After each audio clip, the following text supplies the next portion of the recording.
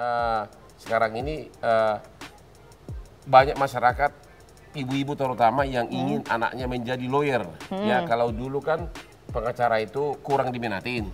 Tapi setelah melihat uh, Hotman Paris Lamborghini, ada Rolls Royce dan semuanya dan melihat kehidupannya serba mega, mulailah sekarang trennya berubah. Makanya kemarin juga diundang di sini wanita-wanita serikan di hukum Indonesia yang sudah go internasional. Nah, jadi jadi jadi di samping edukasi juga merupakan sumber informasi. Mm-mm, Kemarin juga sempat anaknya diundang ya bang ya di sini ya. Ya, anak saya, ya putri saya, dia pernah kuliah hukum di Harvard Law School dan juga di Queen Mary London. Tiga anak saya semuanya lulusan uh, London Fakultas Hukum.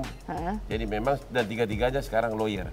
Kalau kayak gitu tuh kerja bareng gitu nggak sih bang untuk proyek-proyek kasus apa gitu Oh misalnya? iya lah, dua anak saya kerja sama saya. Satu oh, kalau putri saya ikut di grupnya grup internasional, grupnya Price Waterhouse. Jadi memang terpisah sama sekali. Tapi tapi ya namanya junior sama senior kan hampir semuanya kalau nggak ngerti pasti datangnya ke saya gitu. Oh, jadi ada wejangan-wejangan khusus juga ya Justru, dari justru i- itu adalah tugas dari seorang bapak untuk bukan hanya sekedar membuat lulus anaknya dari fakultas hukum atau dari sarjana, tapi juga to guide menuju kesuksesan.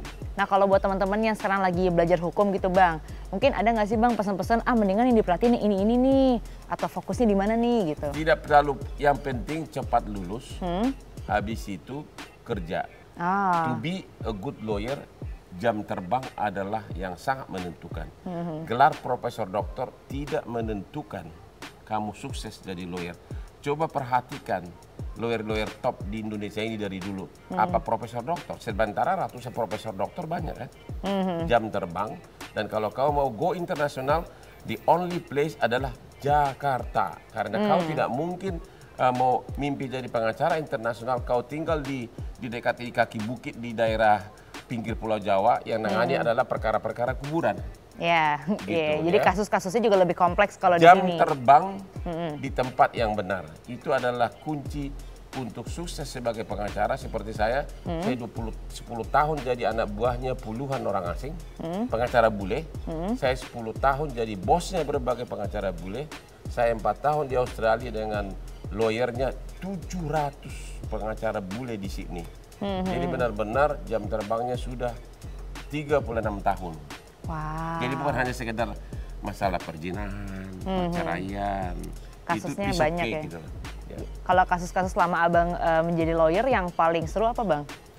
Sudah nggak dihitung lagi terlalu banyak. Terlalu banyak ya soalnya. Terlalu ya? banyak, terlalu banyak, terlalu kalau- panjang diceritain. Kalau abang sukanya bahas yang kasus yang kayak gimana bang? Saya tidak mengatakan eh, mana yang saya sukain atau tidak.